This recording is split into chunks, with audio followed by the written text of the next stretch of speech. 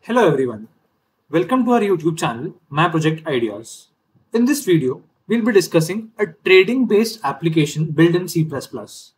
Basically, this application in C++ helps us to analyze when and where to sell and buy stock accordingly on that particular day in which the price is at price of stock is at its maximum and the price of stock is at, at the minimum. So when the price of stock stock is on the minimum value, we'll buy the stock and when the price of that particular stock will be at its highest value, we'll, we'll sell the stock accordingly in order to achieve the maximum profit. So basically, this will this application in C++ help, acts as a helping hand with the in, to the people in the trading trading domain and trading sector. So as far as building this requirements, uh, as far as requirements of model building is concerned, it requires C++ programming language and a Visual Studio Code or any other IDE on which C++ can be easily run. So let's get started by having a look on the code.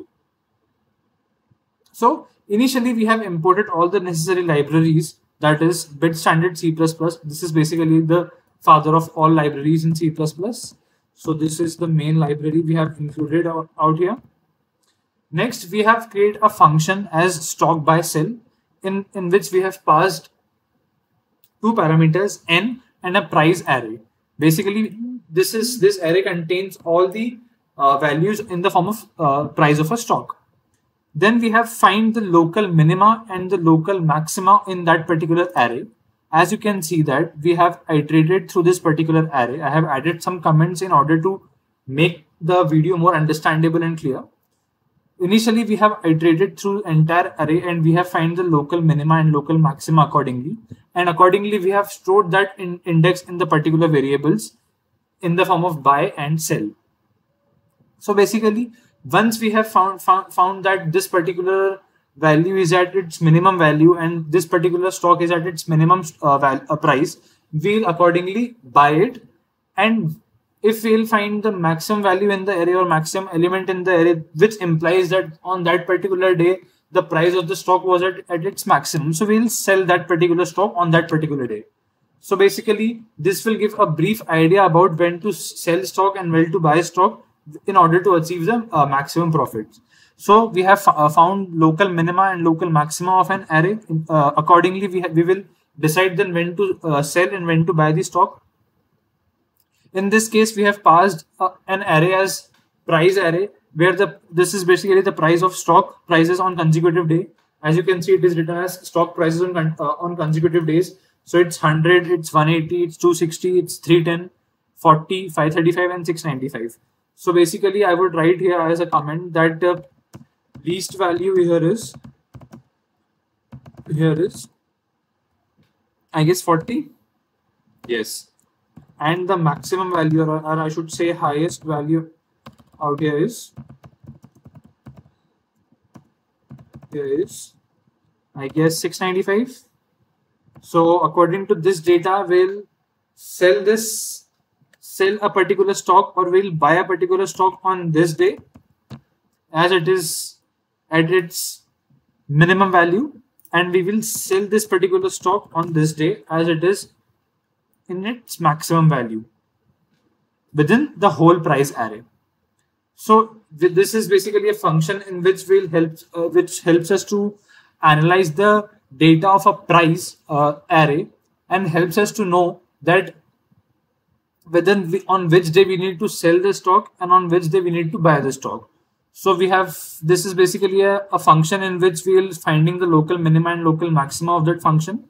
And initially uh, in the main function we have declared a static array of prices which which consists of st stock prices on consecutive days. We have seen least value and highest value.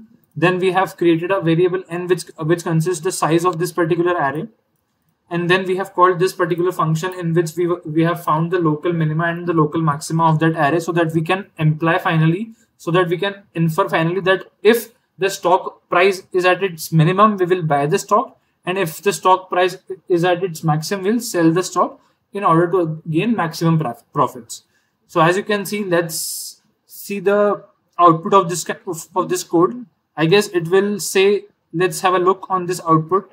Let's hit a run button. So it's saying that buy on day zero, sell on day three, buy on day four, and sell on day six. So as you can see that this particular data is saying that uh, buy on day zero, sell on day three. So buy on day zero, sell on day three, and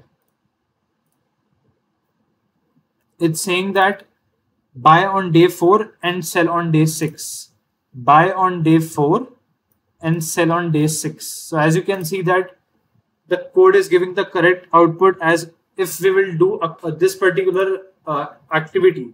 That if we buy on day zero and sell on day three, will give the max will get the maximum profit. And accordingly accordingly if we'll buy on day four and sell on day six we'll get accordingly the maximum profit. So in this case we can buy and sell the uh, stocks multiple times. There are various applications in the trading software or in the trading trading domain that a person is only allowed to sell and buy the stock only one time but in this case we have considered that we need to we have we can i can write it here we can sell and we can sell and buy the stock multiple times. That's why we are getting the output that you need to sell on buy on day zero, sell on day three, uh, buy on day four, and sell on day six. So this was guys basically an entire C++ code in order to make aware the people how to sell and how to uh, buy the stock on which day to sell the stock and on, on which day to uh, get the stock, stock in the trading sector in order to get the maximum profit. I hope guys the things are precise and understandable enough. Thank you so much guys for watching this video. For more interesting stuffs in technical domain, please do hit the subscribe button to our YouTube channel that is my project ideas and till then keep growing and keep exploring. Thank you so much guys.